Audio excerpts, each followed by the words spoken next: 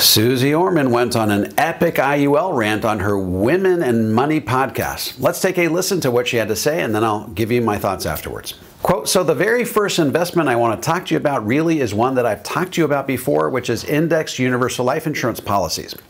I am begging you not to do them, not to do them, not to do them.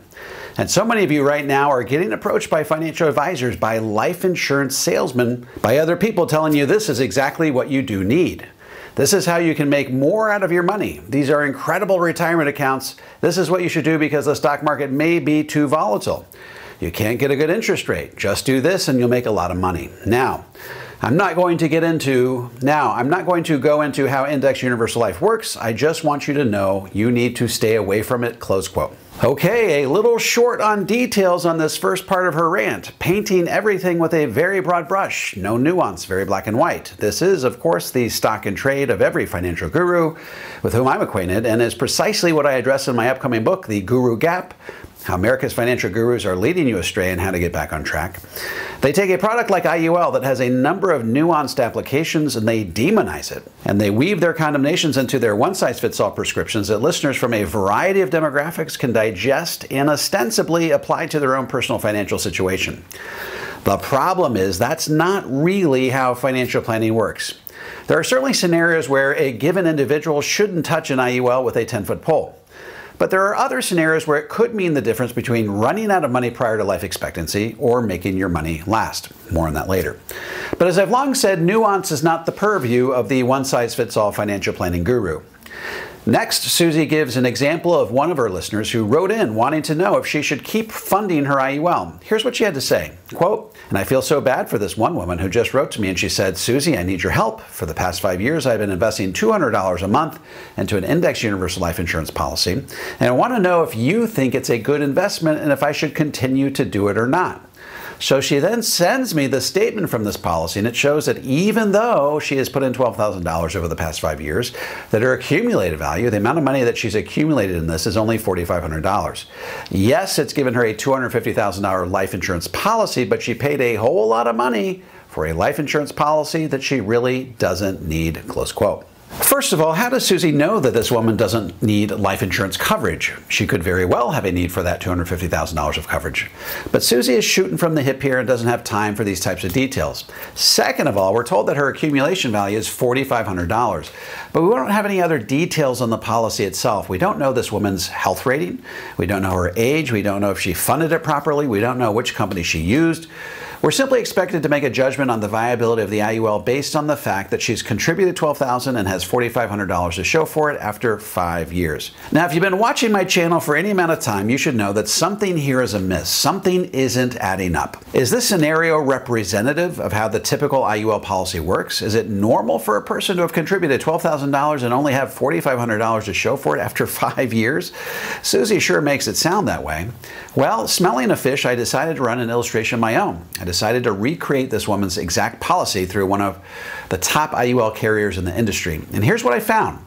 If the policy had been structured properly, her accumulation value should have been much closer to $8,651 by the fifth year, with a surrender value much closer to $4,017.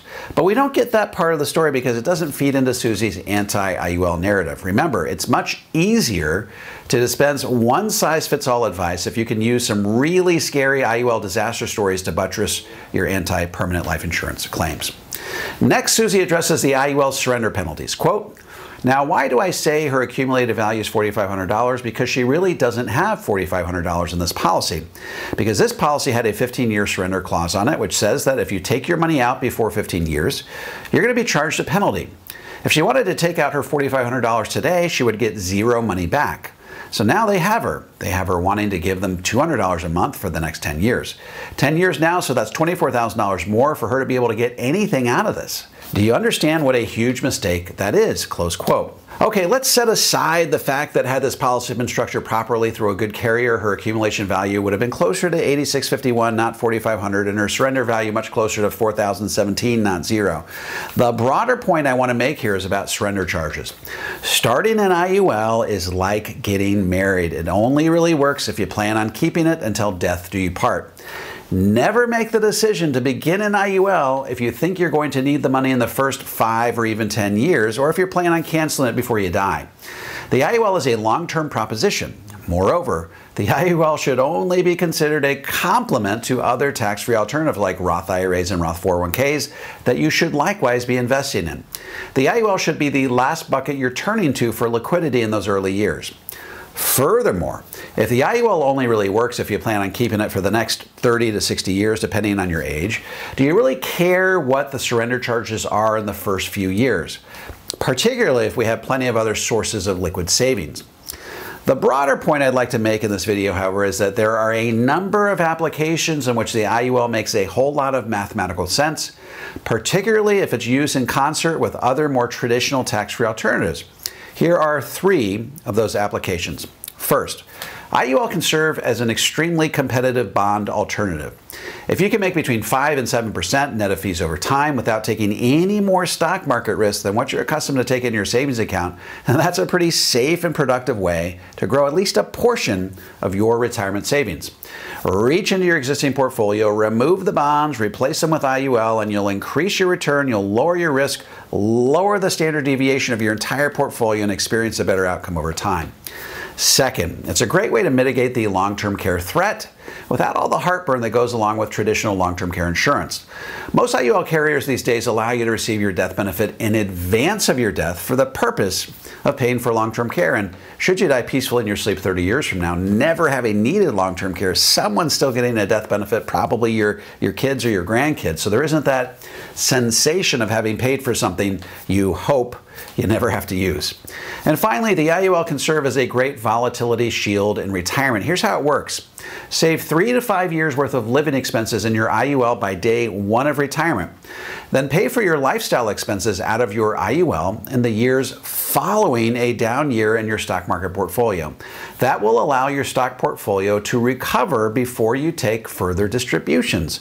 By following this course, you can increase your sustainable withdrawal rate on your investments from 4% to as high as 8%. In fact, Ernst & Young recently did a study in which it vindicated this approach. They showed that by saving 30% of your retirement contributions towards a cash value life insurance policy like Index Universal Life, you can dramatically increase your sustainable levels of income in retirement. In short, if you can cut through all of the nasty, dismissive, anti IUL rhetoric from financial gurus like Susie Orman and examine the IUL on its merits, it's revealed to be a dynamic financial tool with a number of practical applications that can help the average American mitigate risk and wring more efficiency out of their retirement portfolios.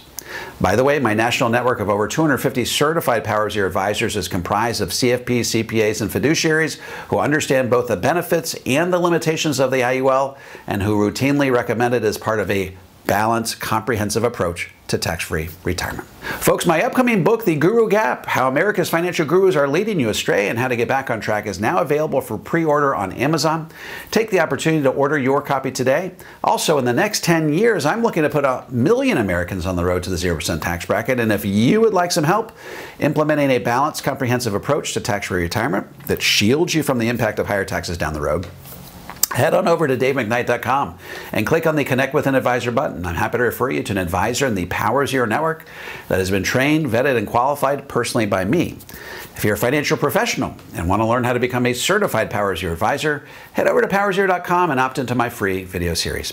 And if you have any comments or questions, feel free to drop them into the comment section below. I'll respond to every single one of them personally. And don't forget to click like, subscribe, and the bell so you never miss a video. This is David McKnight. I look forward to seeing you on the next video.